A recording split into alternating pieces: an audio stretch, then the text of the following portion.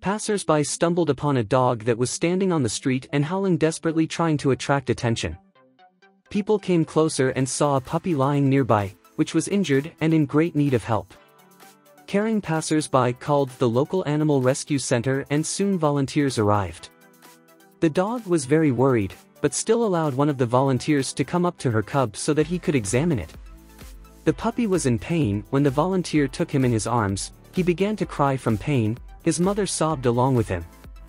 It was necessary to urgently save the poor fellow. Fortunately this story had a good ending, the puppy was cured and fed in the center and then returned to his mother.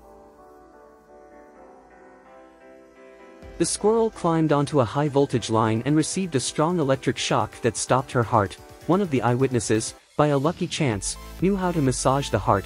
He quickly put the squirrel on the motorcycle seat and began to carry out remedial measures. The guy pressed the chest for a long and intense time and helped the squirrel to breathe. Soon the animal, which did not show any signs of life, began to breathe on its own and was very frightened. The squirrel finally came to his senses, jumps off the motorcycle and runs away.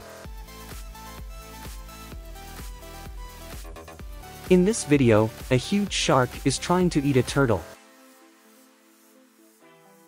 No, no, No way. no, No way. Oh my god. That... These people, seeing how the turtle is desperately fighting for his life, decided to help.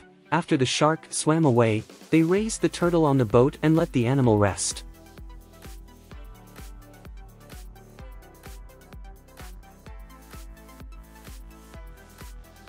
This turtle swims up to the diver and asks him for help.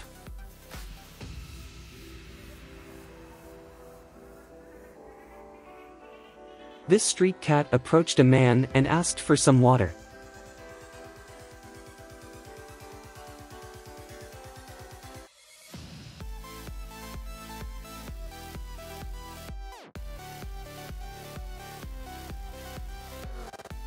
Another story with a happy ending, this kitten got stuck in a metal pipe and called people for help, fortunately the girl noticed the kitten and helped him.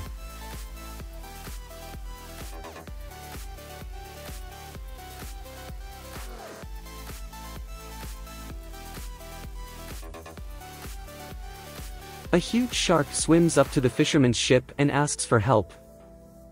The fisherman noticed that it was wrapped in a rope. Then one of the fishermen takes out a knife to cut the rope.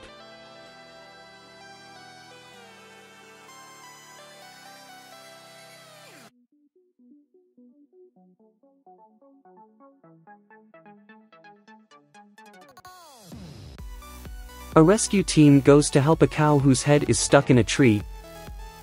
But there is one problem, there are many bulls nearby that can attack, so they are driven away with water.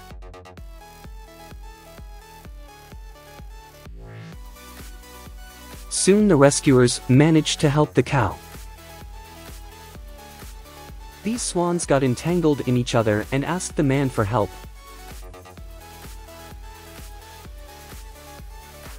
The man immediately began to help the swans, and after two minutes they were free.